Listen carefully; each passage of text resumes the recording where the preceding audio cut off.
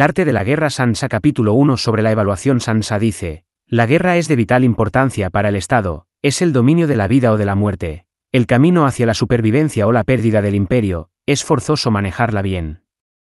No reflexionar seriamente sobre todo lo que le concierne es dar prueba de una culpable indiferencia en lo que respecta a la conservación o pérdida de lo que nos es más querido, y ello no debe ocurrir entre nosotros. Hay que valorarla en términos de cinco factores fundamentales, y hacer comparaciones entre diversas condiciones de los bandos rivales, con vistas a determinar el resultado de la guerra. El primero de estos factores es la doctrina, el segundo, el tiempo, el tercero, el terreno, el cuarto, el mando, y el quinto, la disciplina. La doctrina significa aquello que hace que el pueblo esté en armonía con su gobernante, de modo que le siga donde sea, sin temer por sus vidas ni a correr cualquier peligro. El tiempo significa el yin y el yang. La noche y el día, el frío y el calor, días despejados o lluviosos, y el cambio de las estaciones. El terreno implica las distancias, y hace referencia a dónde es fácil o difícil desplazarse, y si es campo abierto o lugares estrechos, y esto influencia las posibilidades de supervivencia.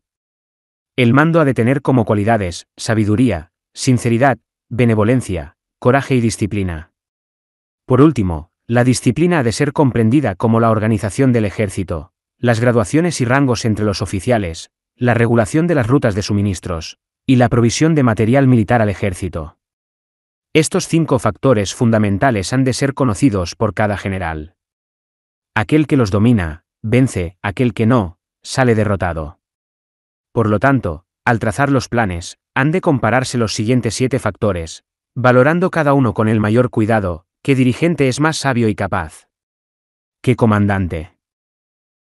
¿Posee el mayor talento? ¿Qué ejército obtiene ventajas de la naturaleza y el terreno? ¿En qué ejército se observan mejor las regulaciones y las instrucciones? ¿Qué tropas son más fuertes?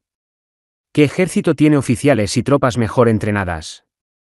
¿Qué ejército administra recompensas y castigos de forma más justa? Mediante el estudio de estos siete factores, seré capaz de adivinar cuál de los dos bandos saldrá victorioso y cuál será derrotado. El general que siga mi consejo, es seguro que vencerá. Ese general ha de ser mantenido al mando. Aquel que ignore mi consejo, ciertamente será derrotado. Ese debe ser destituido. Tras prestar atención a mi consejo y planes, el general debe crear una situación que contribuya a su cumplimiento. Por situación quiero decir que debe tomar en consideración la situación del campo, y actuar de acuerdo con lo que le es ventajoso. El arte de la guerra se basa en el engaño. Por lo tanto, cuando es capaz de atacar, ha de aparentar incapacidad, cuando las tropas se mueven, aparentar inactividad. Si está cerca del enemigo, ha de hacerle creer que está lejos, si está lejos, aparentar que se está cerca. Poner cebos para atraer al enemigo. Golpear al enemigo cuando está desordenado. Prepararse contra él cuando está seguro en todas partes. Evitarle durante un tiempo cuando es más fuerte. Si tu oponente tiene un temperamento colérico, intenta irritarle. Si es arrogante, trata de fomentar su egoísmo. Si las tropas enemigas se hallan bien preparadas tras una reorganización, intenta desordenarlas. Si están unidas, siembra la disensión entre sus filas. Ataca al enemigo cuando no está preparado, y aparece cuando no te espera. Estas son las claves de la victoria para el estratega. Ahora, si las estimaciones realizadas antes de la batalla indican victoria, es porque los cálculos cuidadosamente realizados muestran que tus condiciones son más favorables que las condiciones del enemigo, si indican derrota, es porque muestran que las condiciones favorables para la batalla son menores. Con una evaluación cuidadosa, uno puede vencer, sin ella, no puede. Muchas menos. Oportunidades de victoria tendrá aquel que no realiza cálculos en absoluto. Gracias a este método, se puede examinar la situación, y el resultado aparece claramente. Capítulo 2 sobre la iniciación de las acciones una vez comenzada la batalla, aunque estés ganando, de continuar por mucho tiempo, desanimará a tus tropas y embotará tu espada. Si estás sitiando una ciudad, agotarás tus fuerzas. Si mantienes a tu ejército durante mucho tiempo en campaña, tus suministros se agotarán. Las armas son instrumentos de mala suerte, emplearlas por mucho tiempo producirá calamidades. Como se ha dicho, los que a hierro matan, a hierro mueren. Cuando tus tropas están desanimadas, tu espada embotada, agotadas tus fuerzas y tus suministros son escasos, hasta los tuyos se aprovecharán de tu debilidad para sublevarse. Entonces, aunque tengas consejeros sabios, al final no podrás hacer que las cosas salgan bien. Por esta causa, he oído hablar de operaciones militares que han sido torpes y repentinas, pero nunca he visto a ningún experto en el arte de la guerra que mantuviese la campaña por mucho tiempo. Nunca es beneficioso para un país dejar que una operación militar se prolongue por mucho tiempo. Como se dice comúnmente, sé rápido como el trueno que retumba antes de que hayas podido taparte los oídos, veloz como el relámpago que relumbra antes de haber podido pestañear. Por lo tanto, los que no son totalmente conscientes de la desventaja de servirse de las armas no pueden ser totalmente conscientes de las ventajas de utilizarlas. Los que utilizan los medios militares con pericia no activan a sus tropas dos veces, ni proporcionan alimentos en tres ocasiones, con un mismo objetivo. Esto quiere decir que no se debe movilizar al pueblo más de una vez por campaña, y que inmediatamente después de alcanzar la victoria no se debe regresar al propio país para hacer una segunda movilización. Al principio esto significa proporcionar alimentos, para las propias tropas, pero después se quitan los alimentos al enemigo. Si tomas los suministros de armas de tu propio país, pero quitas los alimentos al enemigo, puedes estar bien abastecido de armamento y de provisiones. Cuando un país se empobrece a causa de las operaciones militares, se debe al transporte de provisiones desde un lugar distante. Si las transportas desde un lugar distante, el pueblo se empobrecerá. Los que habitan cerca de donde está el ejército pueden vender sus cosechas a precios elevados, pero se acaba de este modo el bienestar de la mayoría de la población. Cuando se transportan las provisiones muy lejos, la gente se arruina a causa del alto costo. En los mercados cercanos al ejército, los precios de las mercancías se aumentan. Por lo tanto, las largas campañas militares constituyen una lacra para el país. Cuando se agotan los recursos, los impuestos se recaudan bajo presión. Cuando el poder y los recursos se han agotado, se arruina el propio país. Se priva al pueblo de gran parte de su presupuesto, mientras que los gastos del gobierno para armamentos se elevan. Los habitantes constituyen la base de un país, los alimentos son la felicidad del pueblo. El príncipe debe respetar este hecho y ser sobrio y austero en sus gastos públicos. En consecuencia, un general inteligente lucha por desproveer al enemigo de sus alimentos. Cada porción de alimentos tomados al enemigo equivale a 20 que te suministras a ti mismo.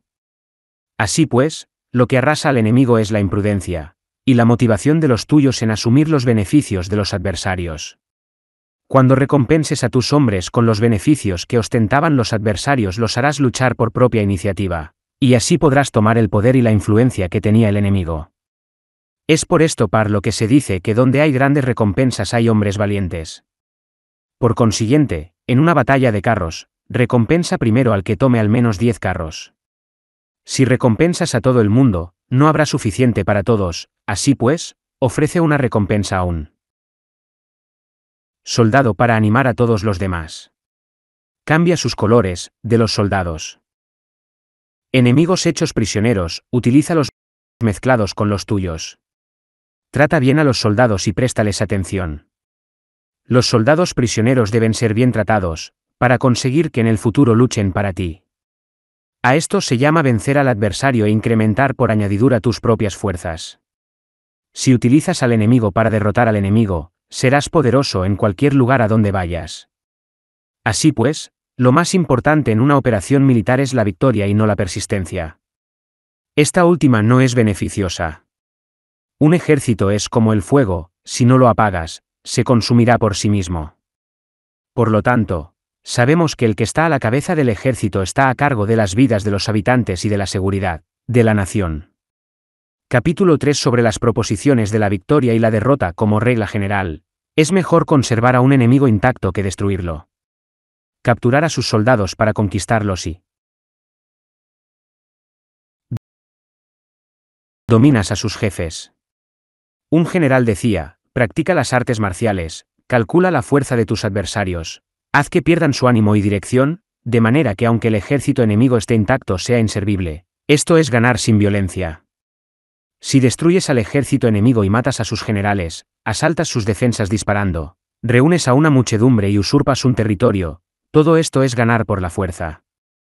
Por esto, los que ganan todas las batallas no son realmente profesionales, los que consiguen que se rindan impotentes los ejércitos ajenos sin luchar son los mejores maestros del arte de la guerra. Los guerreros superiores atacan mientras los enemigos están proyectando sus planes.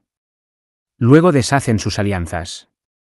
Por eso, un gran emperador decía, el que lucha por la victoria frente a espadas desnudas no es un buen general. La peor táctica es atacar a una ciudad. Asediar, acorralar a una ciudad solo se lleva a cabo como último recurso. Emplea no menos de tres meses en preparar tus artefactos y otros tres para coordinar los recursos para tu asedio. Nunca se debe atacar por cólera y con prisas. Es aconsejable tomarse tiempo en la planificación y coordinación del plan. Por lo tanto, un verdadero maestro de las artes marciales vence a otras fuerzas enemigas sin batalla, conquista otras ciudades sin asediarlas y destruye a otros ejércitos sin emplear mucho tiempo. Un maestro experto en las artes marciales deshace los planes de los enemigos, estropea sus relaciones y alianzas, le corta los suministros o bloquea su camino, venciendo mediante estas tácticas sin necesidad de luchar. Es imprescindible luchar contra todas las facciones enemigas para obtener una victoria completa, de manera que su ejército no quede acuartelado y el beneficio sea total. Esta es la ley del asedio estratégico. La victoria completa se produce cuando el ejército no lucha, la ciudad no. Es asediada, la destrucción no se prolonga durante mucho tiempo, y en cada caso el enemigo es vencido por el empleo de la estrategia. Así pues, la regla de la utilización de la fuerza es la siguiente, si tus fuerzas son diez veces superiores a las del adversario, rodéalo, si son cinco veces superiores, atácalo, si son dos veces superiores, divídelo. Si tus fuerzas son iguales en número, lucha si te es posible.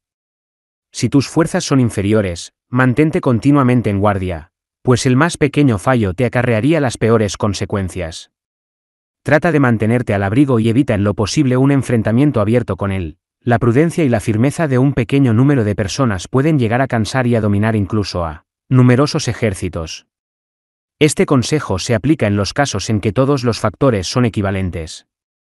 Si tus fuerzas están en orden mientras que las suyas están inmersas en el caos, si tú y tus fuerzas están con ánimo y ellos desmoralizados, entonces, aunque sean más numerosos, puedes entrar en batalla. Si tus soldados, tus fuerzas, tu estrategia y tu valor son menores que las de tu adversario, entonces debes retirarte y buscar una salida. En consecuencia, si el bando más pequeño es obstinado, cae prisionero del bando más grande. Esto quiere decir que si un pequeño ejército no hace una valoración adecuada de su poder y se atreve a enemistarse con una gran potencia, por mucho que su defensa sea firme, inevitablemente se convertirá en conquistado.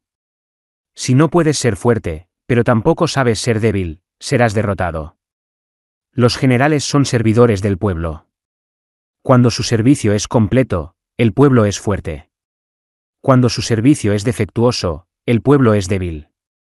Así pues, existen tres maneras en las que un príncipe lleva al ejército al desastre. Cuando un príncipe, ignorando los hechos, ordena avanzar a sus ejércitos o retirarse cuando no deben hacerlo, a esto se le llama inmovilizar al ejército. Cuando un príncipe ignora los asuntos militares, pero comparte en pie de igualdad el mando del ejército, los soldados acaban confusos. Cuando el príncipe ignora cómo llevar a cabo las maniobras militares, pero comparte por igual su dirección, los soldados están vacilantes. Una vez que los ejércitos están confusos y vacilantes, empiezan los problemas procedentes de los adversarios. A esto se le llama perder la victoria por trastornar el aspecto militar. Si intentas utilizar los métodos de un gobierno civil para dirigir una operación militar, La operación será confusa. Triunfan aquellos que, saben cuándo luchar y cuándo no. Saben discernir cuándo utilizar muchas o pocas tropas. Tienen tropas cuyos rangos superiores e inferiores tienen el mismo objetivo. Se enfrentan con preparativos a enemigos desprevenidos. Tienen generales competentes y no limitados por sus gobiernos civiles. Estas cinco son las maneras de conocer al futuro vencedor. Hablar de que el príncipe sea el que da las órdenes en todo es como el general solicitarle permiso al príncipe, para poder apagar un fuego, para cuando sea autorizado, ya no quedan sino cenizas. Si conoces a los demás y te conoces a ti mismo, ni en cien batallas correrás. Peligro, si no conoces a los demás, pero te conoces a ti mismo, perderás una batalla y ganarás otra. Si no conoces a los demás ni te conoces a ti mismo, correrás peligro en cada batalla. Capítulo 4 sobre la medida en la disposición de los medios antiguamente. Los guerreros expertos se hacían a sí mismos invencibles en primer lugar, y después aguardaban para descubrir la vulnerabilidad de sus adversarios. Hacerte invencible significa conocerte a ti mismo. Aguardar para descubrir la vulnerabilidad del adversario significa conocer a los demás. La invencibilidad está en uno mismo, la vulnerabilidad en el adversario. Por esto, los guerreros expertos pueden ser invencibles, pero no pueden hacer que sus adversarios sean vulnerables. Si los adversarios no tienen orden de batalla sobre el que informarse, ni negligencias o fallos de los que aprovecharse, ¿cómo puedes vencerlos aunque estén bien? ¿Pertrechados? Por esto es por lo que se dice que la victoria puede ser percibida, pero no fabricada. La invencibilidad es una cuestión de defensa, la vulnerabilidad, una cuestión de ataque. Mientras no hayas observado vulnerabilidades en el orden de batalla de los adversarios, oculta tu propia formación de ataque, y prepárate para ser invencible, con la finalidad de preservarte. Cuando los adversarios tienen órdenes de batalla vulnerables, es el momento de salir a atacarlos. La defensa es para tiempos de escasez, el ataque para tiempos de abundancia. Los expertos en defensa se esconden en las profundidades de la tierra, los expertos en maniobras de ataque se esconden en las más elevadas alturas del cielo. De esta manera pueden protegerse y lograr la victoria total. En situaciones de defensa, acalláis las voces y borráis las huellas, escondidos como fantasmas y espíritus bajo tierra, invisibles para todo el mundo. En situaciones de ataque, vuestro movimiento es rápido y vuestro. Grito fulgurante, veloz como el trueno y el relámpago, para los que no se puede uno. Preparar, aunque vengan del cielo. Prever la victoria cuando cualquiera la puede conocer no constituye verdadera destreza. Todo el mundo elogia la victoria ganada en batalla, pero esa victoria no es realmente tan buena. Todo el mundo elogia la victoria en la batalla, pero lo verdaderamente deseable es poder ver el mundo de lo sutil y darte cuenta del mundo de lo oculto, hasta el punto de ser capaz de alcanzar la victoria donde no existe forma. No se requiere mucha fuerza para levantar un cabello, no es necesario tener una vista aguda para ver el sol y la luna, ni se necesita tener mucho oído para escuchar el retumbar del trueno. Lo que todo el mundo conoce no se llama sabiduría, la victoria sobre los demás obtenida por medio de la batalla no se considera una buena victoria. En la antigüedad, los que eran conocidos como buenos guerreros vencían cuando era fácil vencer. Si solo eres capaz de asegurar la victoria tras enfrentarte a un adversario en un conflicto armado, esa Victoria es una dura victoria. Si eres capaz de ver lo sutil y de darte cuenta de lo oculto, irrumpiendo antes del orden de batalla, la victoria así obtenida es una victoria fácil. En consecuencia, las victorias de los buenos guerreros no destacan por su inteligencia o su bravura. Así pues, las victorias que ganan en batalla no son debidas a la suerte. Sus victorias no son casualidades, sino que son debidas a haberse situado previamente en posición de poder ganar con seguridad, imponiéndose sobre los que ya han perdido de antemano.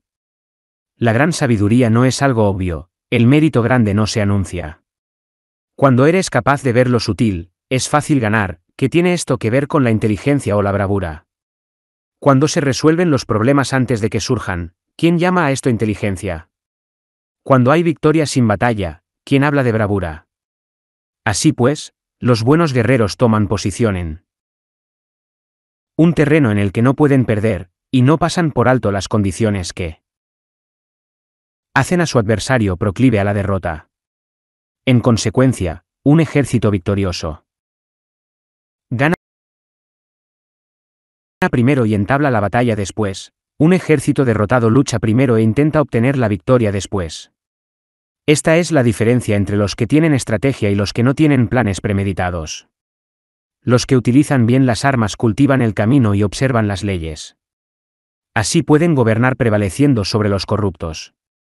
Servirse de la armonía para desvanecer la oposición, no atacar un ejército inocente, no hacer prisioneros o tomar botín par donde pasa el ejército, no cortar los árboles ni contaminar los pozos, limpiar y purificar los templos de las ciudades y montañas del camino que atraviesas, no repetir los errores de una civilización decadente, a todo esto se llama el camino y sus leyes.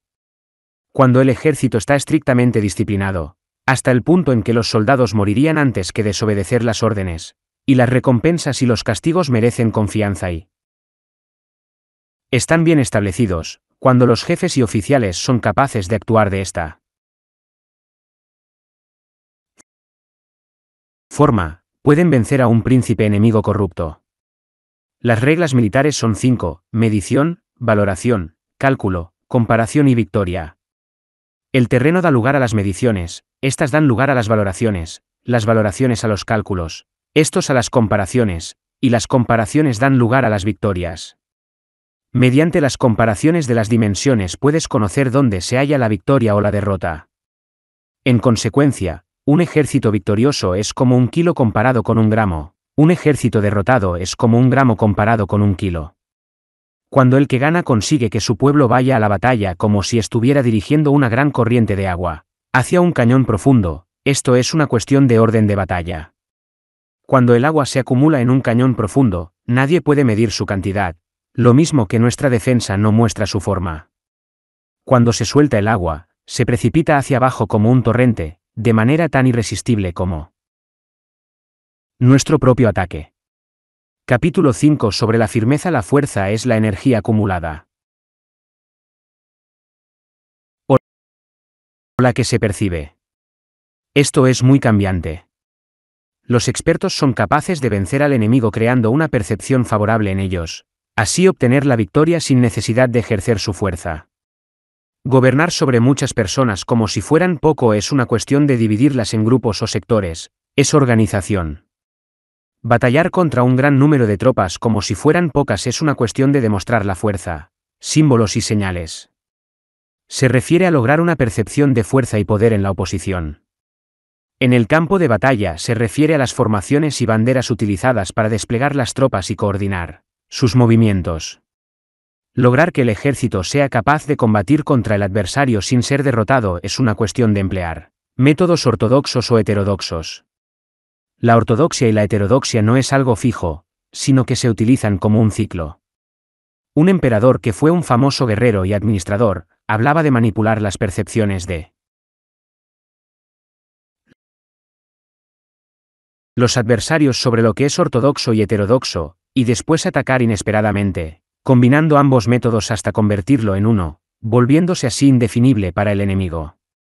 Que el efecto de las fuerzas sea como el de piedras arrojadas sobre huevos, es una cuestión de lleno y vacío.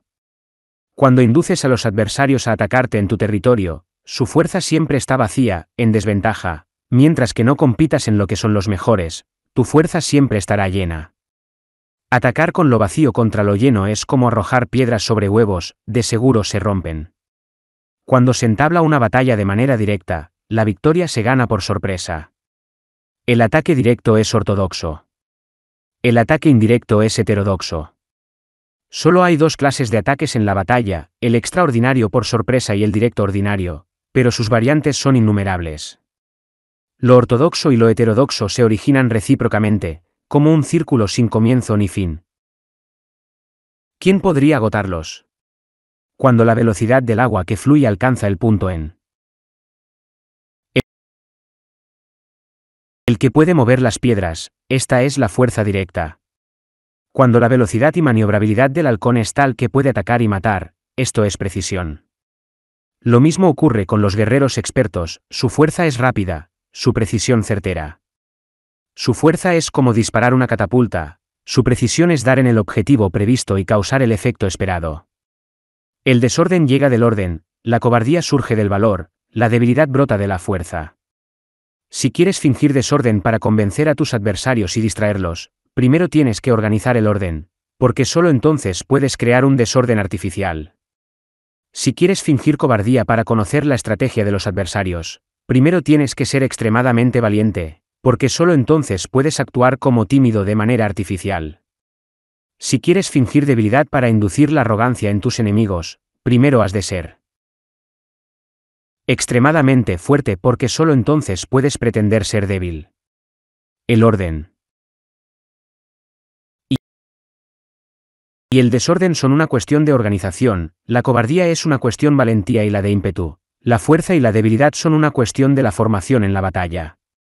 Cuando un ejército tiene la fuerza del ímpetu, percepción, incluso el tímido se vuelve valiente. Cuando pierde la fuerza del ímpetu, incluso el valiente se convierte en tímido. Nada está fijado en las leyes de la guerra, éstas se desarrollan sobre la base del ímpetu.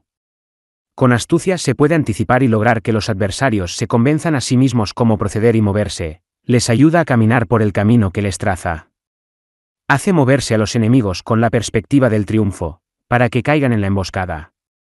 Los buenos guerreros buscan la efectividad en la batalla a partir de la fuerza del ímpetu, percepción, y no dependen solo de la fuerza de sus soldados.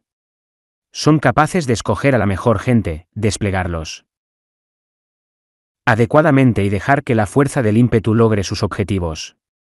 Cuando hay entusiasmo, convicción, orden, organización, recursos, compromiso de los soldados, Tienes la fuerza del ímpetu, y el tímido es valeroso. Así es posible asignar a los soldados por sus capacidades, habilidades y encomendarle deberes y responsabilidades adecuadas. El valiente puede luchar, el cuidadoso puede hacer de centinela, y el inteligente puede estudiar, analizar y comunicar. Cada cual es útil. Hacer que los soldados luchen permitiendo que la fuerza del ímpetu haga su trabajo es como hacer rodar rocas. Las rocas permanecen inmóviles cuando están en un lugar plano, pero ruedan en un plano inclinado. Se quedan fijas cuando son cuadradas, pero giran si son redondas. Por lo tanto, cuando se conduce a los hombres a la batalla con astucia, el impulso es como rocas redondas que se precipitan montaña abajo, esta es la fuerza que produce la victoria. Capítulo 6 sobre lo lleno y lo vacío los que anticipan, se preparan y llegan primero al campo de batalla y esperan al adversario están en posición descansada, los que llegan los últimos al campo de batalla, los que improvisan y entablan la lucha quedan agotados. Los buenos guerreros hacen que los adversarios vengan a ellos, y de ningún modo se dejan atraer fuera de su fortaleza. Si haces que los adversarios vengan a ti para combatir, su fuerza estará siempre vacía. Si no sales a combatir, tu fuerza estará siempre llena. Este es el arte de vaciar a los demás y de llenarte a ti mismo.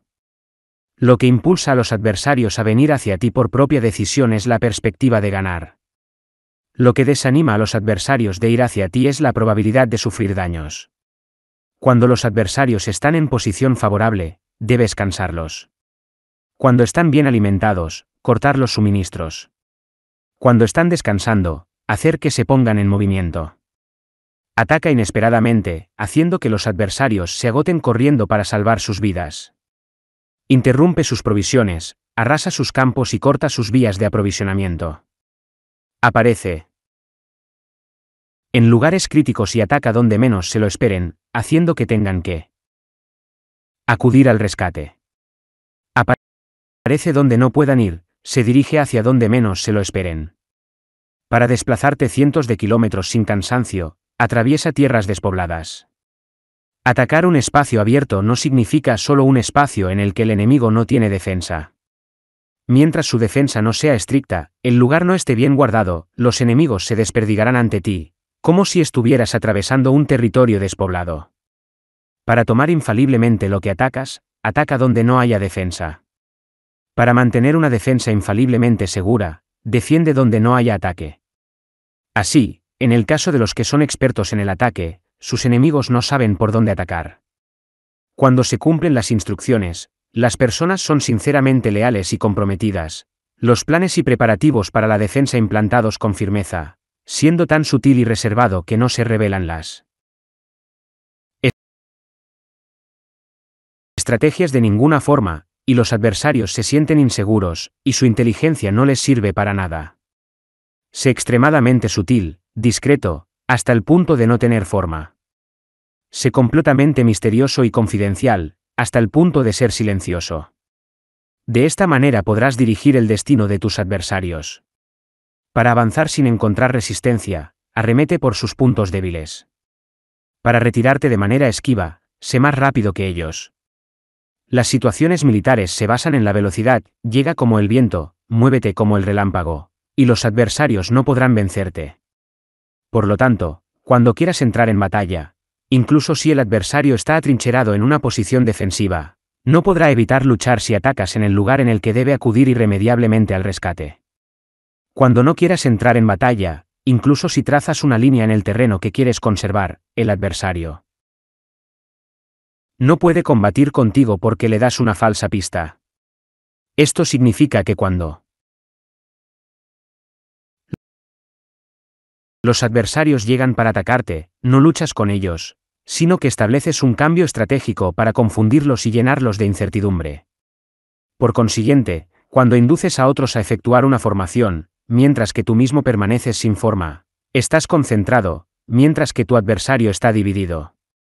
Haz que los adversarios vean como extraordinario lo que es ordinario para ti, haz que vean como ordinario lo que es extraordinario para ti. Esto es inducir al enemigo a efectuar una formación. Una vez vista la formación del adversario, concentras tus tropas contra él. Como tu formación no está a la vista, el adversario dividirá seguidamente sus fuerzas.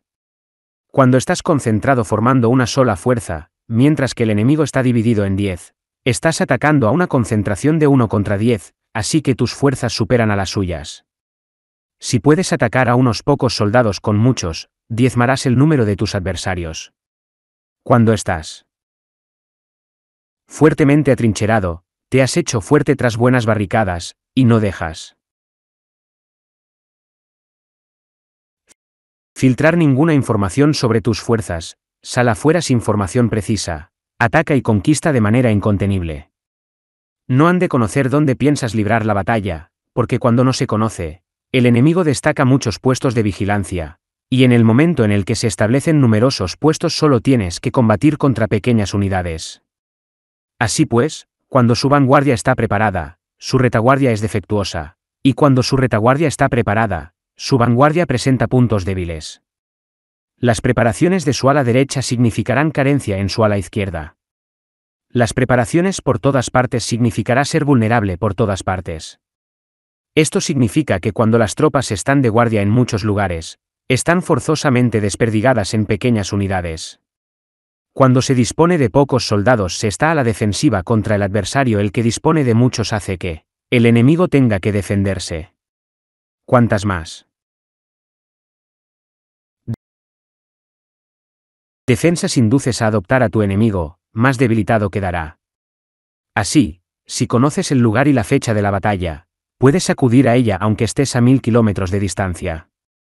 Si no conoces el lugar y la fecha de la batalla, entonces tu flanco izquierdo no puede salvar al derecho, tu vanguardia no puede salvar a tu retaguardia, y tu retaguardia no puede salvar a tu vanguardia, ni siquiera en un territorio de unas pocas docenas de kilómetros. Si tienes muchas más tropas que los demás, ¿Cómo puede ayudarte este factor para obtener la victoria? Si no conoces el lugar y la fecha de la batalla, aunque tus tropas sean más numerosas que las de ellos, ¿cómo puedes saber si vas a ganar o a perder? Así pues, se dice que la victoria puede ser creada. Si haces que los adversarios no sepan el lugar y la fecha de la batalla, siempre puedes vencer. Incluso si los enemigos son numerosos, puede hacerse que no entren en combate. Por tanto, Haz tu valoración sobre ellos para averiguar sus planes, y determinar qué estrategia puede tener éxito y cuál no. Incítalos a la acción para descubrir cuál es el esquema general de sus movimientos y descansa. Haz algo por o en contra de ellos para su atención, de manera que puedas de ellos para traer descubrir sus hábitos de comportamiento de ataque y de defensa. Indúcelos a adoptar formaciones específicas, para conocer sus puntos flacos. Esto significa utilizar muchos métodos para confundir y perturbar al enemigo con el objetivo de observar sus formas de respuesta hacia ti, después de haberlas observado, actúas en consecuencia, de manera que puedes saber qué clase de situaciones significan vida y cuáles significan muerte. Pruébalos para averiguar sus puntos fuertes y sus puntos débiles. Por lo tanto, el punto final de la formación de un ejército es llegar a la no forma. Cuando no tienes forma, los informadores no pueden descubrir nada, ya que la información no puede crear una estrategia. Una vez que no tienes forma perceptible, no dejas huellas que puedan ser seguidas, los informadores no. Encuentran ninguna grieta por donde mirar y los que están a cargo de la planificación no pueden establecer ningún plan realizable. La victoria sobre multitudes mediante formaciones precisas debe ser desconocida para las multitudes. Todo el mundo conoce la forma mediante la que resultó vencedor, pero nadie conoce la forma mediante la que aseguró la victoria. En consecuencia, la victoria en la guerra no es repetitiva, sino que adapta su forma continuamente. Determinar los cambios apropiados, significa no repetir las estrategias previas para obtener la victoria. Para lograrla, puedo adaptarme desde el principio a cualquier formación que los adversarios puedan adoptar. Las formaciones son como el agua, la naturaleza del agua es evitar lo alto e ir hacia abajo. La naturaleza de los ejércitos es evitar lo lleno y atacar lo vacío. El flujo del agua está determinado por la tierra, la victoria viene determinada por el adversario. Así pues, un ejército no tiene Formación constante, lo mismo que el agua no tiene forma constante, se llama genio a la capacidad de obtener la victoria cambiando y adaptándose según el enemigo. Capítulo 7 sobre el enfrentamiento directo e indirecto las autoridades civiles y después reúne y concentra las tropas, acuartelando las juntas. Nada es más difícil que la lucha armada. Luchar con otros cara a cara para conseguir ventajas es lo más arduo del mundo. La dificultad de la lucha armada es hacer cercanas las distancias largas y convertir los problemas en ventajas. Mientras que das la apariencia de estar muy lejos, empiezas tu camino y llegas antes que el enemigo. Por lo tanto, haces que su ruta sea larga, atrayéndole con la esperanza de ganar. Cuando emprendes la marcha después que los otros y llegas antes que ellos, conoces la estrategia de hacer que las distancias sean cercanas. Sírvete de una unidad especial para engañar al enemigo atrayéndole a una falsa persecución, haciéndole creer que el grueso de tus fuerzas está muy lejos, entonces, lanzas una fuerza de ataque sorpresa que llega antes, aunque emprendió el camino después. Por consiguiente, la lucha armada puede ser provechosa y puede ser peligrosa. Para el experto es provechosa, para el inexperto peligrosa. Movilizar a todo el ejército para el combate en aras de obtener alguna ventaja tomaría mucho tiempo, pero combatir por una ventaja con un ejército incompleto tendría como resultado una falta de recursos. Si te movilizas rápidamente y sin parar día y noche, recorriendo el doble de la distancia habitual, y si luchas por obtener alguna ventaja a miles de kilómetros, tus jefes militares serán hechos prisioneros. Los soldados que sean fuertes llegarán allí primero, los más cansados llegarán después, como regla general, Solo lo conseguirá uno de cada diez. Cuando la ruta es larga las tropas se cansan, si han gastado su fuerza en la movilización, llegan agotadas mientras que sus adversarios están frescos, así pues. Es seguro que serán atacadas. Combatir por una ventaja a 50 kilómetros de distancia frustrará los planes del mando, y, como regla general, solo la mitad de los soldados lo harán. Si se combate por obtener una ventaja a 30 kilómetros de distancia, solo dos de cada tres soldados lo recorrerán. Así pues, un ejército perece si no está equipado, si no tiene provisiones o si no tiene dinero. Estas tres cosas son necesarias, no puedes combatir para ganar con un ejército no equipado, o sin provisiones, lo que el dinero facilita. Por tanto, si ignoras los planes de tus rivales, no puedes hacer alianzas precisas. A menos que conozcas las montañas y los bosques, los desfiladeros y los pasos, y la condición de los pantanos, no puedes maniobrar con una fuerza armada. A menos que utilices guías locales, no puedes aprovecharte de las ventajas del terreno. Solo cuando conoces cada detalle de la condición del terreno puedes maniobrar y guerrear. Por consiguiente, una fuerza militar se usa. Según la estrategia prevista, se moviliza mediante la esperanza de recompensa, y se adapta mediante la división y la combinación. Una fuerza militar se establece mediante la estrategia en el sentido de que distraes al enemigo para que no pueda conocer cuál es tu situación real y no pueda imponer su supremacía. Se moviliza mediante la esperanza de recompensa, en el sentido de que entra en acción cuando ve la posibilidad de obtener una ventaja. Dividir y volver a hacer combinaciones de tropas se hace para confundir al adversario y observar cómo reacciona. Frente a ti, de esta manera puedes adaptarte para obtener la victoria. Por eso, cuando una fuerza militar se mueve con rapidez es como el viento, cuando va lentamente es como el bosque, es voraz como el fuego e inmóvil como las montañas. Es rápida como el viento en el sentido que llega sin avisar y desaparece como el relámpago. Es como un bosque porque tiene un orden. Es voraz como el fuego que devasta una planicie sin dejar tras sí ni una brizna de hierba. Es inmóvil como una montaña cuando se acuartela. Es tan difícil de conocer como la oscuridad, su movimiento es como un trueno que retumba. Para ocupar un lugar, divide a tus tropas. Para expandir tu territorio, divide los beneficios. La regla general de las operaciones militares es desproveer de alimentos al enemigo todo lo que se pueda. Sin embargo, en localidades donde la gente no tiene mucho, es necesario dividir a las tropas en grupos más pequeños para que puedan tomar en diversas partes lo que necesitan, ya que solo así tendrán suficiente. En cuanto a dividir el botín, significa que es necesario repartirlo entre las tropas para guardar lo que ha sido ganado, no dejando que el enemigo lo recupere. Actúa después de haber hecho una estimación. Gana el que conoce primero la medida de lo que está lejos y lo que está cerca, esta es la regla general de la lucha armada. El primero que hace el movimiento es el invitado, el último es el anfitrión. El invitado lo tiene difícil, el anfitrión lo tiene fácil. Cerca y lejos significan desplazamiento, el cansancio, el hambre y el frío. Surgen del desplazamiento. Un antiguo libro que trata de asuntos militares dice, las palabras no son escuchadas, para eso se hacen los símbolos y los tambores. Las banderas y los estandartes se hacen a causa de la ausencia de visibilidad.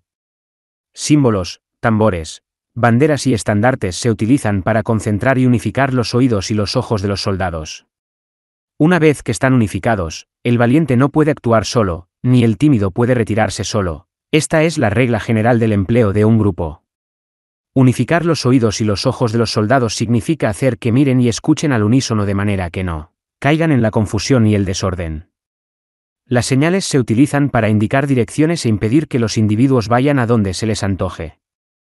Así pues, en batallas nocturnas, utiliza fuegos y tambores, y en batallas diurnas sírvete de banderas y estandartes, para manipular los oídos y los ojos de los soldados. Utiliza muchas señales para confundir las percepciones del enemigo y hacerle temer tu temible poder militar. De esta forma, haces desaparecer la energía de sus ejércitos y desmoralizas a sus generales. En primer lugar, has de ser capaz de mantenerte firme en tu propio corazón, solo entonces puedes desmoralizar a los generales enemigos. Por esto, la tradición afirma que los habitantes de otros tiempos tenían la firmeza para desmoralizar, y la antigua ley de los que conducían carros de combate decía que cuando la mente original es firme, la energía fresca es victoriosa. De este modo, la energía de la mañana está llena de ardor, la del mediodía decae y la energía de la noche se retira, en consecuencia. Los expertos en el manejo de las armas prefieren la energía entusiasta, atacan la decadente y la que se bate en retirada. Son ellos los que dominan la energía. Cualquier débil en el mundo se dispone a combatir en un minuto si se siente animado, pero cuando se trata realmente de tomar las armas y de entrar en batalla, es poseído por la energía. Cuando esta energía se desvanece, se detendrá, estará asustado y se arrepentirá de haber comenzado. La razón por la que esa clase de ejércitos miran por encima del hombro a enemigos fuertes, lo mismo que miran a las doncellas vírgenes, es porque se están aprovechando de su agresividad, estimulada por cualquier causa. Utilizar el orden para enfrentarse al desorden, utilizar la calma para enfrentarse con los que se agitan. Esto es dominar el corazón. A menos que tu corazón esté totalmente abierto y tu mente en orden, no puedes esperar ser capaz de adaptarte a responder sin límites, a manejar los acontecimientos de manera infalible, a enfrentarte a dificultades graves e inesperadas sin turbarte, dirigiendo cada cosa sin confusión. Dominar la fuerza es esperar a los que vienen de lejos, aguardar con toda comodidad a los que se han fatigado, y con el estómago saciado a los hambrientos. Esto es lo que se quiere decir cuando se habla de atraer a otros hacia donde estás, al tiempo que evitas ser inducido a ir hacia donde están ellos.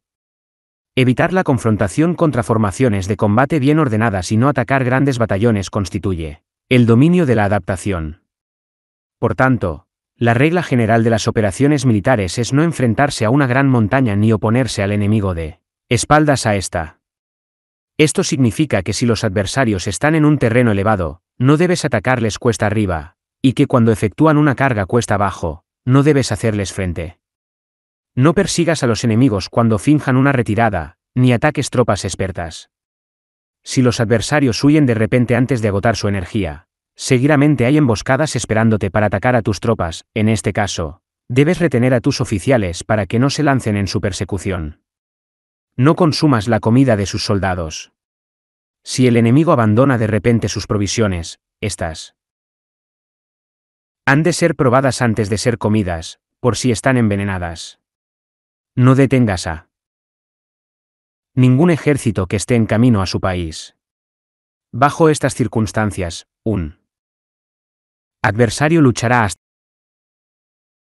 la muerte. Hay que dejarle una salida a un ejército rodeado. Muéstrales una manera de salvar la vida para que no estén dispuestos a luchar hasta la muerte, y así podrás aprovecharte para atacarles. No presiones a un enemigo desesperado. Un animal agotado seguirá luchando, pues esa es la ley de la naturaleza. Estas son las leyes de las operaciones militares. Capítulo 8 sobre los nueve cambios por lo general. Las operaciones militares están bajo el del gobernante civil para dirigir al ejército. El general no debe levantar su campamento en un terreno difícil. Deja que se establezcan relaciones diplomáticas en las fronteras. No permanezcas en un territorio árido ni aislado. Cuando te halles en un terreno cerrado, prepara alguna estrategia y muévete. Cuando te halles en un terreno mortal, lucha. Terreno cerrado significa que existen lugares escarpados que te rodean por todas partes, de manera que el enemigo tiene movilidad, que puede llegar e irse con libertad, pero a ti te es difícil salir y volver. Cada ruta debe ser estudiada para que sea la mejor. Hay rutas que no debes usar, ejércitos que no han de ser atacados, ciudades que no deben ser rodeadas, terrenos sobre los que no se debe combatir, y órdenes de gobernantes civiles que no deben ser obedecidas. En consecuencia, los generales que conocen las variables posibles para aprovecharse del terreno sabe cómo manejar las fuerzas armadas. Si los generales no saben cómo adaptarse de manera ventajosa, aunque conozcan la condición del terreno, no pueden aprovecharse de él. Si están al mando de ejércitos, pero ignoran las artes de la total adaptabilidad, aunque conozcan el objetivo a lograr, no pueden hacer que los soldados luchen por él. Si eres capaz de ajustar la campaña cambiar conforme al ímpetu de las fuerzas, entonces la ventaja no cambia, y los únicos que son perjudicados son los enemigos. Por esta razón, no existe una estructura permanente. Si puedes comprender totalmente este principio, puedes hacer que los soldados actúen en la mejor forma posible. Por lo tanto, las consideraciones de la inteligente siempre incluyen el analizar objetivamente el beneficio y el daño. Cuando considera el beneficio, su acción se expande, cuando considera el daño, sus problemas pueden resolverse.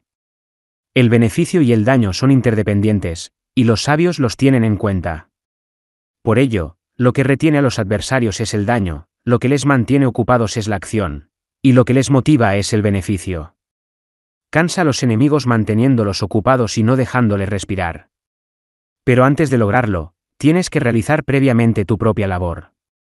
Esa labor consiste en desarrollar un ejército fuerte, un pueblo próspero, una sociedad armoniosa y una manera ordenada de vivir.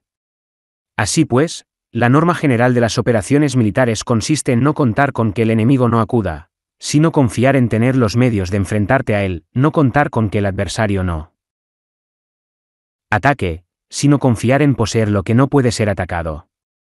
Si puedes recordar siempre el peligro cuando estás a salvo y el caos en tiempos de orden, permanece atento al peligro y al caos mientras no tengan todavía forma, y evítalos antes de que se presenten. Esta es la mejor estrategia de todas. Por esto, existen cinco rasgos que son peligrosos en los generales. Los que están dispuestos a morir, pueden perder la vida, los que quieren preservar la vida, pueden ser hechos prisioneros, los que son dados a los apasionamientos irracionales, pueden ser ridiculizados, los que son muy puritanos, pueden ser deshonrados, los que son compasivos, pueden ser turbados. Si te presentas en un lugar que con toda seguridad los enemigos se precipitarán a defender, las personas compasivas se apresurarán invariablemente a rescatar a sus habitantes, causándose a sí mismos problemas y cansancio. Estos son cinco rasgos que constituyen defectos en los generales y que son desastrosos para las operaciones militares. Los buenos generales son de otra manera, se comprometen hasta la muerte, pero no se aferran a la esperanza de sobrevivir, actúan de acuerdo con los acontecimientos, en forma racional y realista, sin dejarse llevar por las emociones ni estar sujetos a quedar confundidos. Cuando ven una buena oportunidad, son como tigres, en caso contrario cierran sus puertas. Su acción y su no acción son cuestiones de estrategia, y no pueden ser complacidos ni enfadados. Capítulo 9 sobre la distribución de los medios Las maniobras militares son el resultado de los planes y las estrategias en la manera más ventajosa para ganar determinan la movilidad y efectividad de las tropas. Si vas a colocar tu ejército en posición de observar al enemigo, atraviesa rápido las montañas y vigílalos desde un valle. Considera el efecto de la luz y mantente en la posición más elevada del valle. Cuando combatas en una montaña, ataca desde arriba hacia abajo y no al revés. Combate estando cuesta abajo y nunca cuesta arriba. Evita que el agua divida tus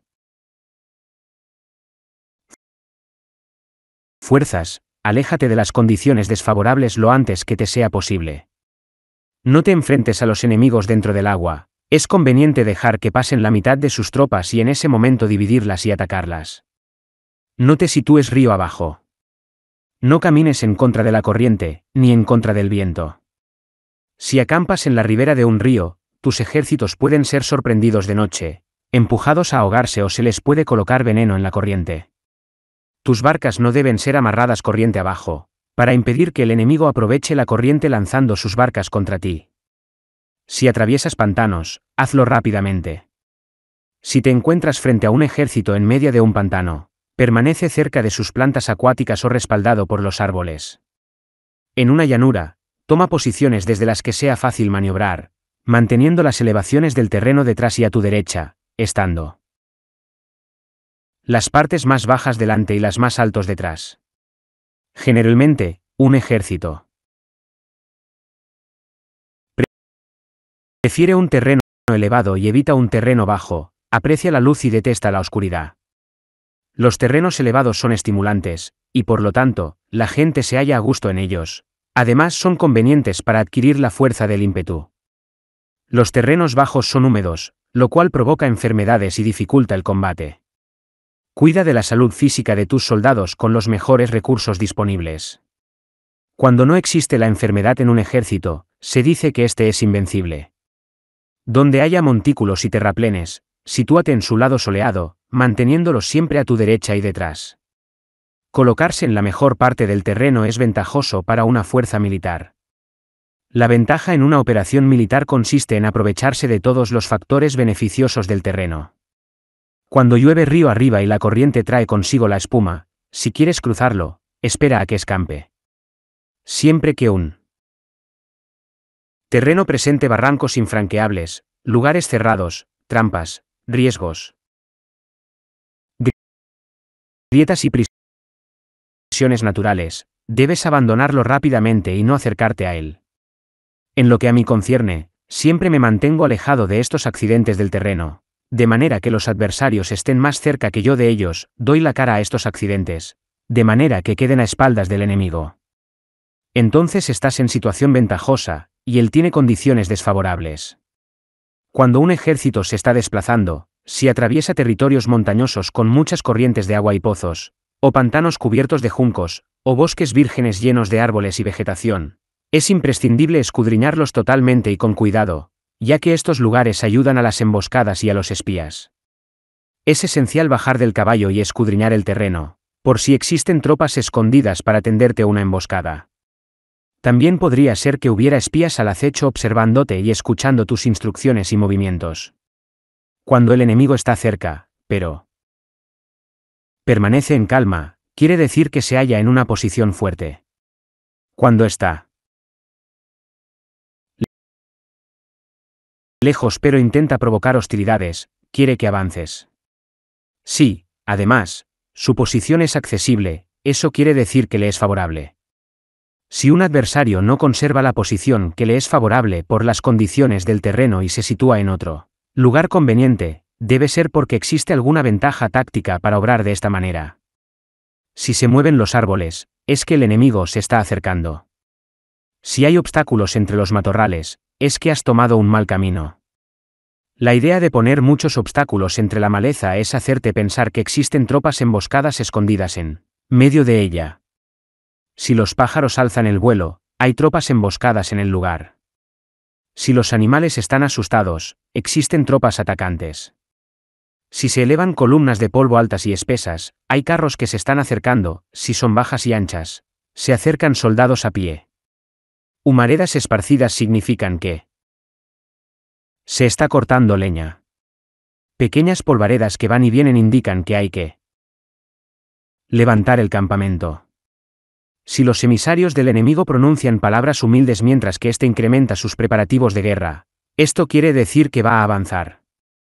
Cuando se pronuncian palabras altisonantes y se avanza ostentosamente, es señal de que el enemigo se va a retirar. Si sus emisarios vienen con palabras humildes, envía espías para observar al enemigo y comprobarás que está aumentando sus preparativos de guerra. Cuando los carros ligeros salen en primer lugar y se sitúan en los flancos, están estableciendo un frente de batalla. Si los emisarios llegan pidiendo la paz sin firmar un tratado, significa que están tramando algún complot. Si el enemigo dispone rápidamente a sus carros en filas de combate, es que está esperando refuerzos. No se precipitarán para un encuentro ordinario si no entienden que les ayudará, o debe haber una fuerza que se halla a distancia y que es esperada en un determinado momento para unir sus tropas, y atacarte. Conviene anticipar, prepararse inmediatamente para esta eventualidad. Si la mitad de sus tropas avanza y la otra mitad retrocede, es que el enemigo piensa atraerte a una trampa. El enemigo está fingiendo en este caso confusión y desorden para incitarte a que avances. Si los soldados enemigos se apoyan unos en otros, es que están hambrientos. Si los aguadores beben en primer lugar, es que las tropas están sedientas. Si el enemigo ve una ventaja pero no la aprovecha, es que está cansado. Si los pájaros se reúnen en el campo enemigo, es que el lugar está vacío. Si hay pájaros sobrevolando una ciudad, el ejército ha huido. Si se producen llamadas nocturnas, es que los soldados enemigos están atemorizados. Tienen miedo y están inquietos, y por eso se llaman unos a otros. Si el ejército no tiene disciplina, esto quiere decir que el general no es tomado en serio. Si los estandartes se mueven, es que está sumido en la confusión. Las señales se utilizan para unificar el grupo, así. Pues, si se desplaza de acá para allá sin orden ni concierto, significa que sus filas están confusas. Si sus emisarios muestran irritación, significa que están cansados. Si matan sus caballos para obtener carne, es que los soldados carecen de alimentos, cuando no tienen marmitas y no vuelven a su campamento, son enemigos completamente desesperados. Si se producen murmuraciones, faltas de disciplina y los soldados hablan mucho entre sí, quiere decir que se ha perdido la lealtad de la tropa. Las murmuraciones describen la expresión de los verdaderos sentimientos, las faltas de disciplina indican problemas con los superiores. Cuando el mando ha perdido la lealtad de las tropas, los soldados se hablan con franqueza entre sí sobre los problemas con sus superiores. Si se otorgan numerosas recompensas, es que el enemigo se halla en un callejón sin salida, cuando se ordenan demasiados castigos, es que el enemigo está desesperado. Cuando la fuerza de su ímpetu está agotada, otorgan constantes recompensas para tener contentos a los soldados, para evitar que se rebelen en masa. Cuando los soldados están tan agotados que no pueden cumplir las órdenes, son castigados una y otra vez para restablecer la autoridad. Ser violento al principio y terminar después temiendo a los propios soldados es el colmo de la ineptitud. Los emisarios que acuden con actitud conciliatoria indican que el enemigo quiere una tregua. Si las tropas enemigas se enfrentan a ti con ardor, pero demoran el momento de entrar en combate sin abandonar no obstante el terreno, has de observarlos cuidadosamente. Están preparando un ataque por sorpresa. En asuntos militares, no es necesariamente más beneficioso ser superior en fuerzas, solo evitar actuar con violencia innecesaria, es suficiente con consolidar tu poder, hacer estimaciones sobre el enemigo y conseguir reunir tropas, eso es todo. El enemigo que actúa aisladamente, que carece de estrategia y que toma a la ligera sus adversarios, inevitablemente acabará siendo derrotado. Si tu plan no contiene una estrategia de retirada o posterior al ataque, sino que confías exclusivamente en la fuerza de tus soldados, y tomas a la ligera a tus adversarios sin valorar su condición, con toda seguridad caerás prisionero. Si se castiga a los soldados antes de haber conseguido que sean leales al mando, no obedecerán. Y si no obedecen, serán difíciles de emplear. Tampoco podrán ser empleados si no se lleva a cabo ningún castigo, incluso después de haber obtenido su lealtad. Cuando existe un sentimiento subterráneo de aprecio y confianza, y los corazones de los soldados están ya vinculados al mando, si se relaja la disciplina, los soldados se volverán arrogantes y será imposible emplearlos. Por lo tanto, dirígelos mediante el arte civilizado y unifícalos mediante las artes marciales. Esto significa una victoria continua. Arte civilizado significa humanidad, y artes marciales significan reglamentos. Mándalos. Con humanidad y benevolencia, unifícalos de manera estricta y firme. Cuando la benevolencia y la firmeza son evidentes, es posible estar seguro de la victoria. Cuando las órdenes se dan de manera clara, sencilla y consecuente a las tropas, éstas las aceptan. Cuando las órdenes son confusas, contradictorias y cambiantes las tropas no las aceptan o no las entienden. Cuando las órdenes son razonables, justas, sencillas, claras y consecuentes, existe una satisfacción recíproca entre el líder y el grupo. Capítulo 10 sobre la topología Algunos terrenos son fáciles, otros difíciles, algunos neutros, otros estrechos, accidentados o abiertos. Cuando el terreno sea accesible, sé el primero en establecer tu posición, eligiendo las alturas soleadas, una posición que sea adecuada para transportar los suministros, así tendrás ventaja cuando libres la batalla. Cuando estés en un terreno difícil de salir, estás limitado.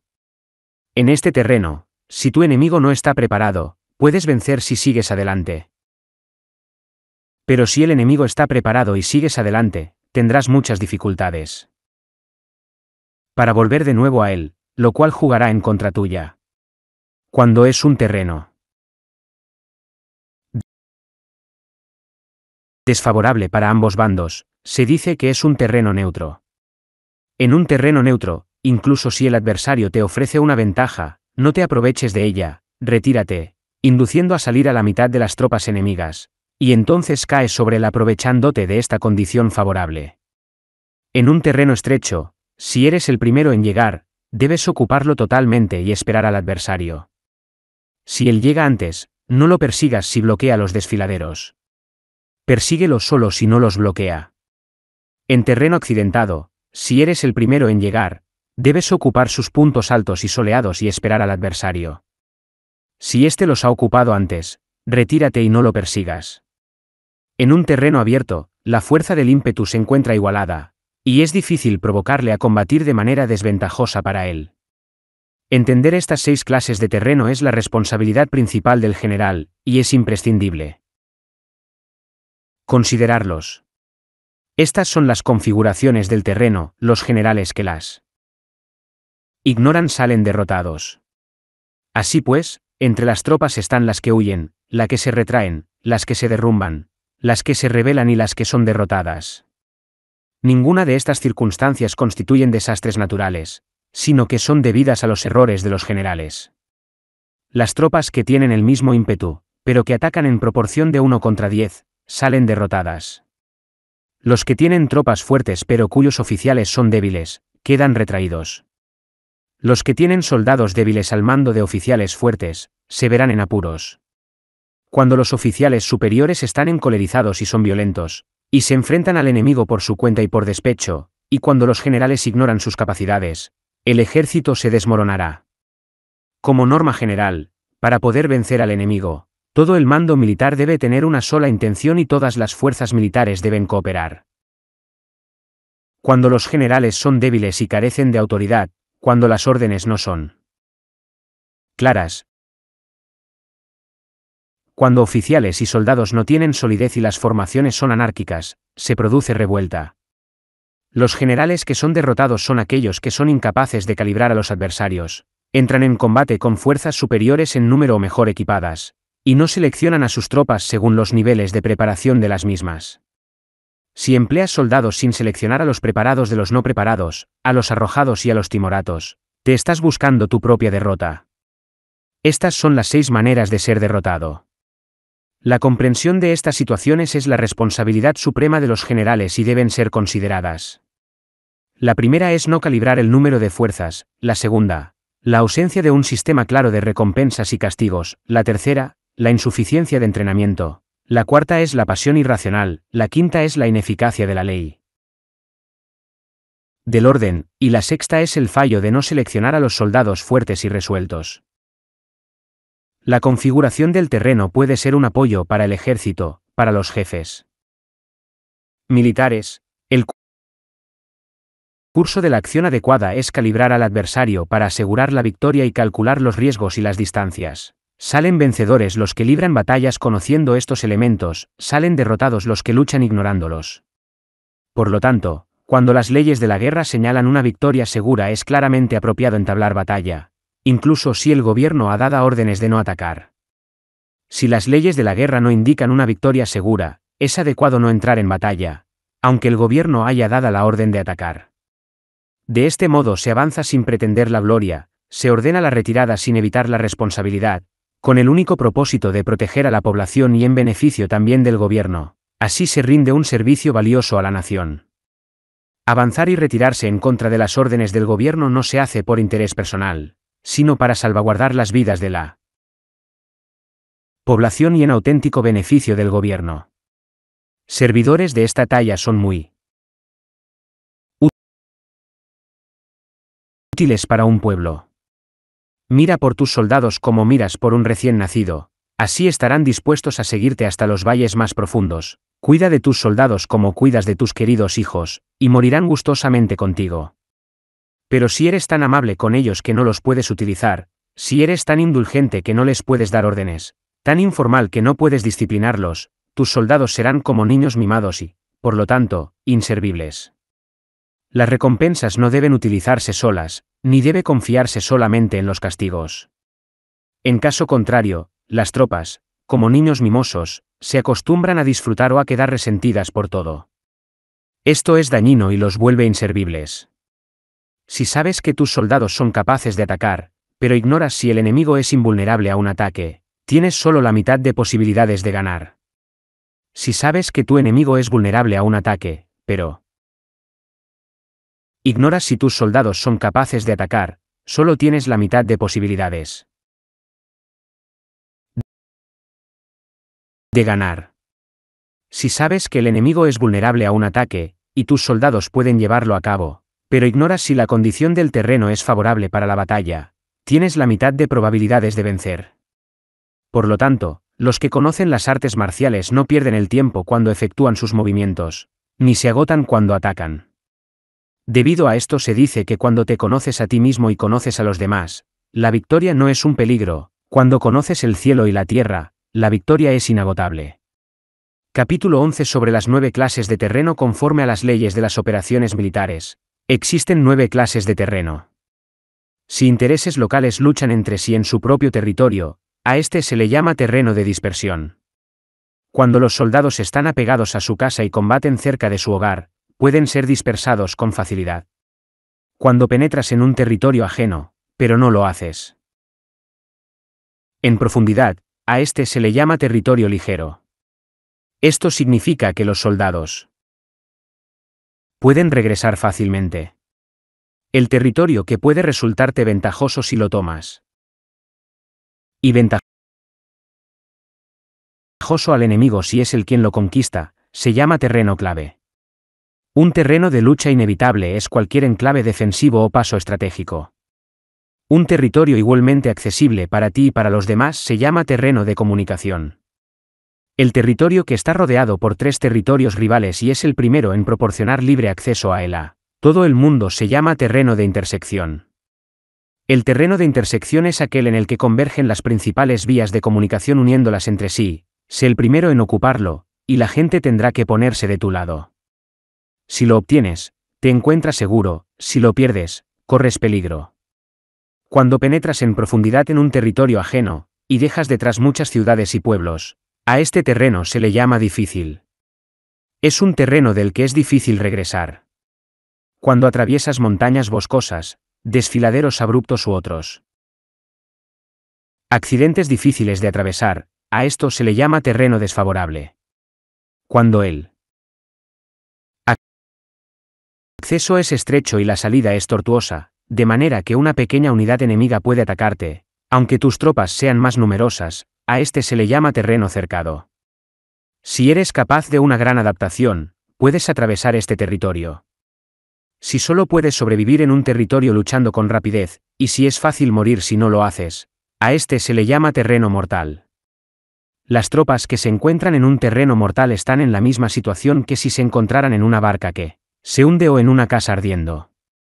Así pues, no combatas en un terreno de dispersión, no te detengas en un terreno ligero, no ataques en un terreno clave, ocupado por el enemigo, no dejes que tus tropas sean divididas en un terreno de comunicación.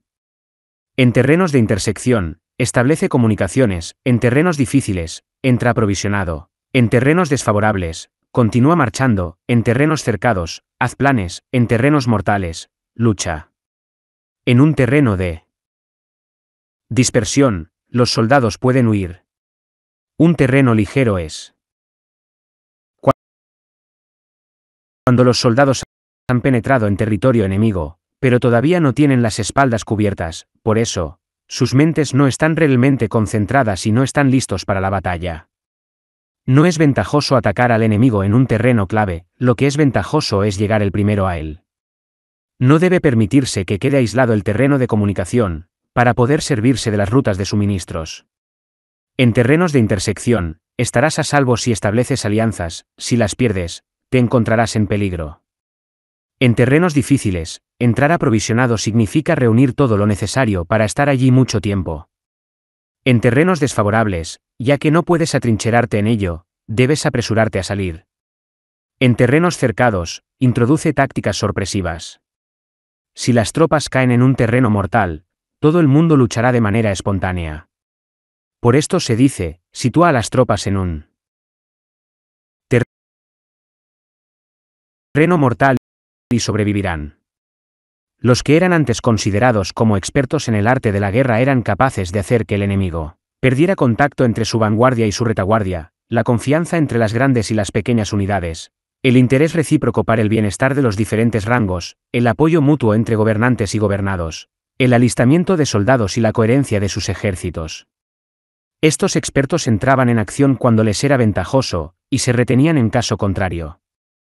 Introducían cambios para confundir al enemigo, atacándolos aquí y allá, aterrorizándolos y sembrando en ellos la confusión, de tal manera que no les daban tiempo para hacer planes. Se podría preguntar cómo enfrentarse a fuerzas enemigas numerosas y bien organizadas que se dirigen hacia ti. La respuesta es quitarles en primer lugar algo que aprecien, y después te escucharán. La rapidez de acción es el factor esencial de la condición de la fuerza militar, aprovechándose de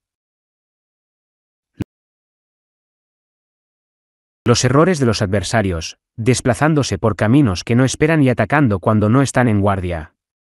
Esto significa que para aprovecharse de la falta de preparación, de visión y de cautela de los adversarios, es necesario actuar con rapidez, y que si dudas, esos errores no te servirán de nada.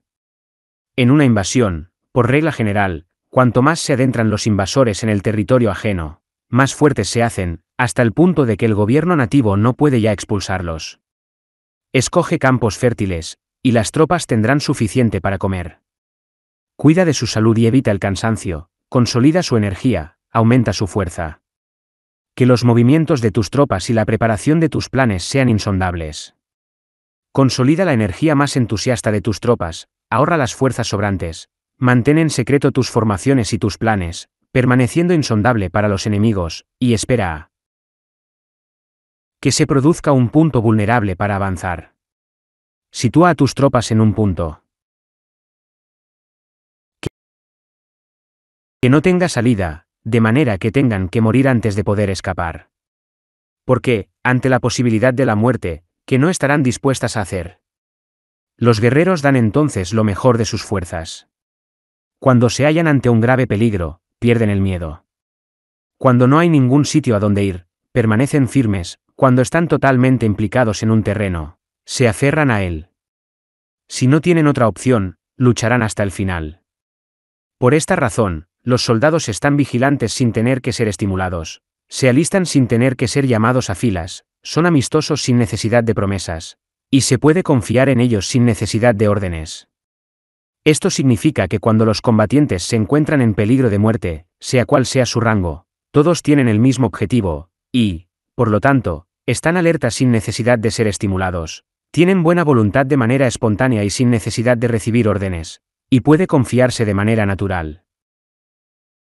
En ellos sin promesas ni necesidad de jerarquía. Prohíbe los augurios para evitarlas.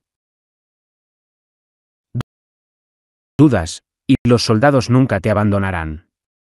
Si tus soldados no tienen riquezas, no es porque las desdeñen. Si no tienen más longevidad, no es porque no quieran vivir más tiempo. El día en que se da la orden de marcha, los soldados lloran. Así pues, una operación militar preparada con pericia debe ser como una serpiente veloz que contraataca con su cola, cuando alguien le ataca por la cabeza, contraataca con la cabeza cuando alguien le ataca por la cola y contraataca con cabeza y cola, cuando alguien le ataca por el medio. Esta imagen representa el método de una línea de batalla que responde velozmente cuando es atacada. Un manual de ocho formaciones clásicas de batalla dice, haz del frente la retaguardia, haz de la retaguardia el frente, con cuatro cabezas y ocho colas. Haz que la cabeza esté en todas partes, y cuando el enemigo arremeta por el centro, cabeza y cola acudirán al rescate puede preguntarse la cuestión de si es posible hacer que una fuerza militar sea como una serpiente rápida. La respuesta es afirmativa. Incluso las personas que se tienen antipatía, encontrándose en el mismo barco, se ayudarán entre sí en caso de peligro de zozobrar. Es la fuerza de la situación la que hace que esto suceda. Por esto, no basta con depositar la confianza en caballos atados y ruedas fijadas se atan los caballos para formar una línea de combate estable, y se fijan las ruedas para hacer que los carros no se puedan mover. Pero aún así, esto no es suficientemente seguro ni se puede confiar en ello. Es necesario permitir que haya variantes a los cambios que se hacen, poniendo a los soldados en situaciones mortales, de manera que combatan de forma espontánea y se ayuden unos a otros codo con codo. Este es el camino de la seguridad y de la obtención de una victoria cierta. La mejor organización es hacer que se exprese el valor y mantenerlo constante. Tener éxito. Tanto con tropas débiles como con tropas aguerridas se basa en la configuración de las circunstancias. Si obtienes la ventaja del terreno, puedes vencer a los adversarios, incluso con tropas ligeras y débiles, cuanto más te sería posible si tienes tropas poderosas y aguerridas. Lo que hace posible la victoria a ambas clases de tropas es las circunstancias del terreno. Por lo tanto, los expertos en operaciones militares logran la cooperación de la tropa, de tal manera que dirigir un grupo es como dirigir a un solo individuo que no tiene más que una sola opción. Corresponde al general ser tranquilo, reservado, justo y metódico. Sus planes son tranquilos y absolutamente secretos para que nadie pueda descubrirlos. Su mando es justo y metódico, así que nadie se atreve a tomarlo a la ligera. Puede mantener a sus soldados sin información y en completa ignorancia de sus planes. Cambia sus acciones y revisa sus planes, de manera que nadie pueda reconocerlos.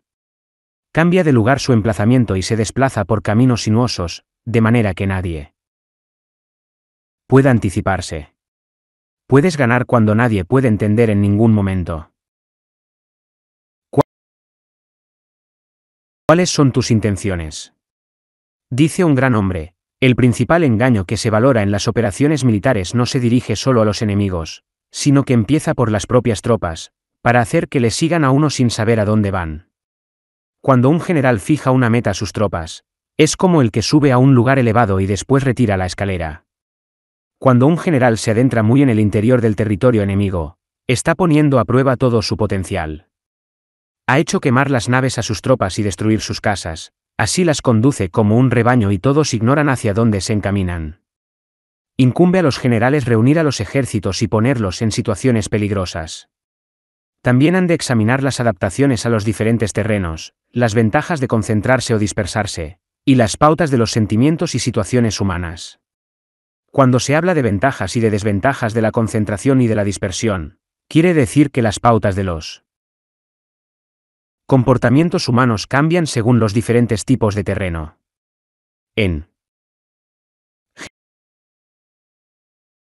general, la pauta general de los invasores es unirse cuando están en el corazón del territorio enemigo, pero tienden a dispersarse cuando están en las franjas fronterizas. Cuando dejas tu territorio y atraviesas la frontera en una operación militar, te hallas en un terreno aislado. Cuando es accesible desde todos los puntos, es un terreno de comunicación. Cuando te adentras en profundidad, estás en un terreno difícil.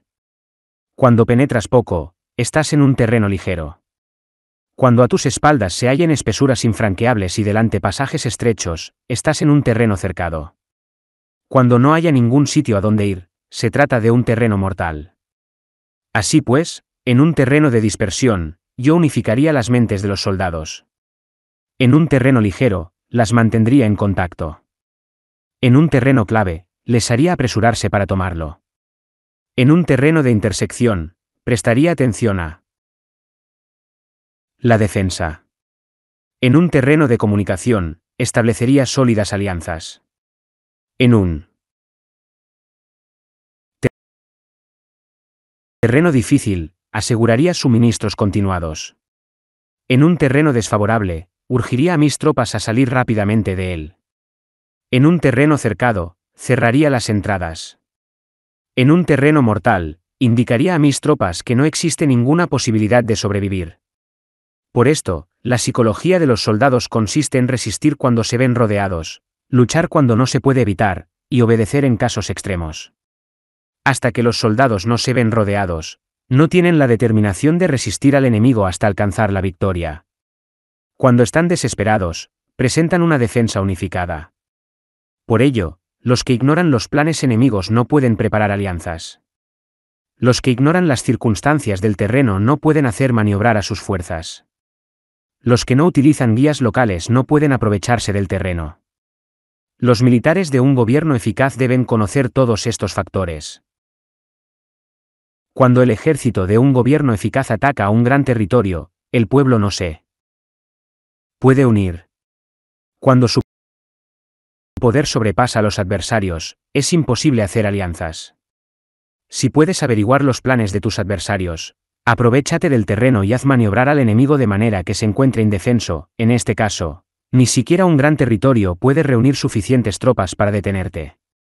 Por lo tanto, si no luchas por obtener alianzas, ni aumentas el poder de ningún país, pero extiendes tu influencia personal amenazando a los adversarios, todo ello hace que el país y las ciudades enemigas sean vulnerables. Otorga recompensas que no estén reguladas y da órdenes desacostumbradas. Considera la ventaja de otorgar recompensas que no tengan precedentes. Observa cómo el enemigo hace promesas sin tener en cuenta los códigos establecidos. Maneja las tropas como si fueran una sola persona. Empléalas en tareas reales, pero no les hables. Motívalas con recompensas, pero no les comentes los perjuicios posibles. Emplea a tus soldados solo en combatir, sin comunicarles tu estrategia. Déjales conocer los beneficios que les esperan, pero no les hables de los daños potenciales. Si la verdad se filtra, tu estrategia puede hundirse. Si los soldados empiezan a preocuparse, se volverán vacilantes y temerosos. Colócalos en una situación de posible exterminio, y entonces lucharán para vivir. Ponles en peligro de muerte, y entonces sobrevivirán. Cuando las tropas afrontan peligros, son capaces de luchar para obtener la victoria. Así pues, la tarea de una operación militar es fingir acomodarse a las intenciones del enemigo. Si te concentras totalmente en este, puedes matar a su general aunque estés a kilómetros de distancia. A esto se llama cumplir el objetivo con pericia. Al principio te acomodas a sus intenciones, después matas a sus generales. Esta es la pericia en el cumplimiento del objetivo. Así, el día en que se declara la guerra, se cierran las fronteras, se rompen los salvoconductos y se impide el paso de emisarios. Los asuntos se deciden rigurosamente desde que se comienza a planificar y establecer la estrategia desde la casa o cuartel general. El rigor en los cuarteles generales en la fase de planificación se refiere al mantenimiento del secreto. Cuando el enemigo ofrece oportunidades, aprovechalas inmediatamente. Entérate primero de lo que pretende, y después anticípate a él. Mantén la disciplina y adáptate al enemigo, para determinar el resultado de la guerra.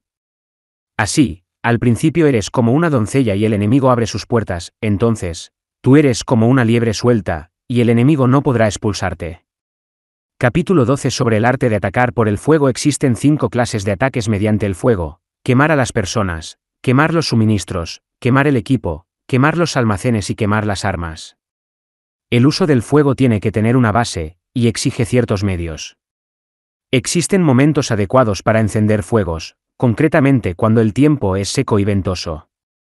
Normalmente, en ataques mediante el fuego es imprescindible seguirlos. Cambios producidos por este.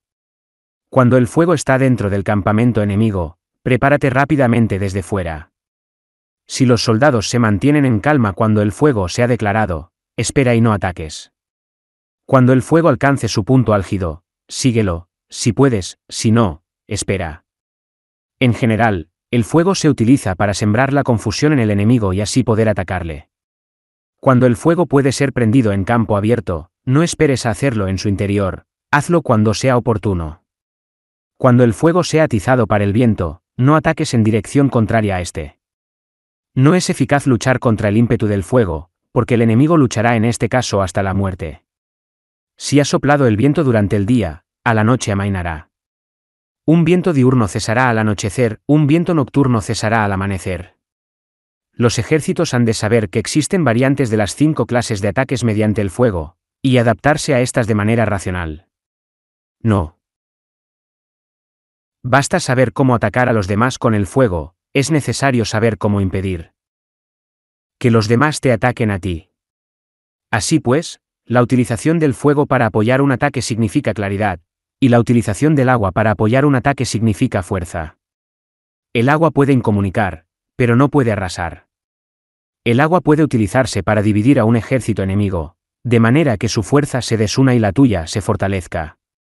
Ganar combatiendo o llevar a cabo un asedio victorioso sin recompensar a los que han hecho méritos trae mala fortuna y se hace merecedor de ser llamado avaro.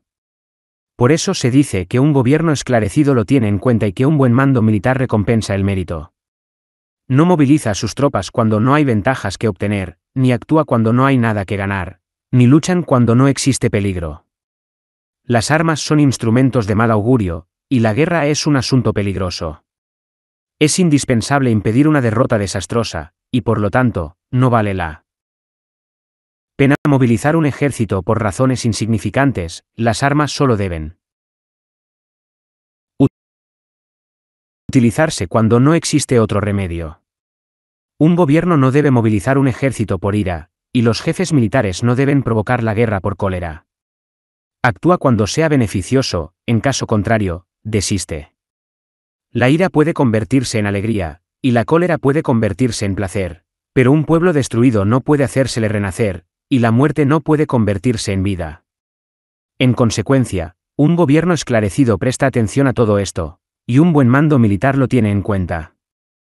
Esta es la manera de mantener a la nación a salvo y de conservar intacto a su ejército.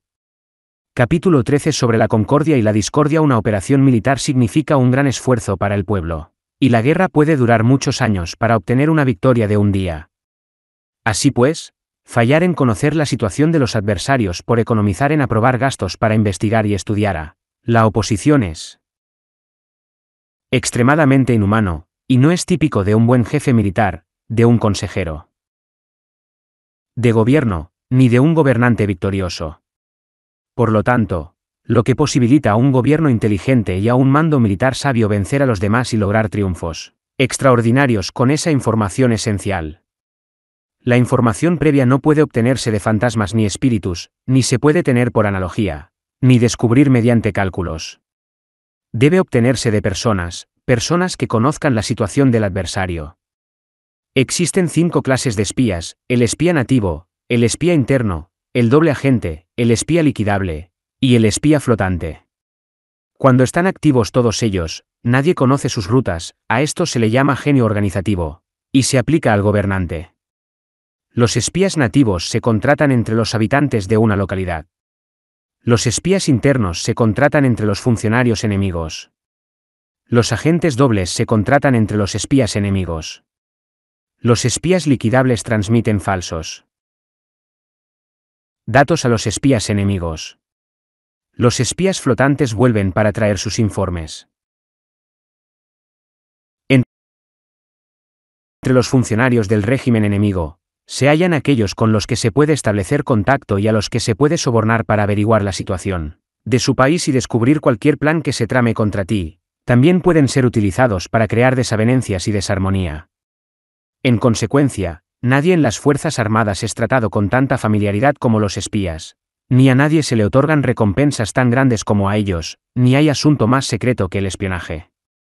Si no se trata bien a los espías, pueden convertirse en renegados y trabajar para el enemigo.